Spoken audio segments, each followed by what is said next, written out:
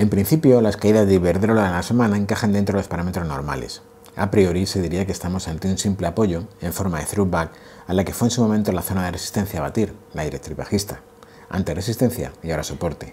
Vamos a ver si finalmente el cierre de la vela semanal consigue aguantar el tipo por encima de la misma. De perforar esta directriz no descartaremos una visita a la zona de soporte que presenta en el entorno de los 6,20 euros, recta que une los mínimos crecientes desde el pasado mes de marzo. En cualquier caso, técnicamente, es ahora cuando el título estaría dando señal de compra de nuevo, ya que cotiza en zona de soporte.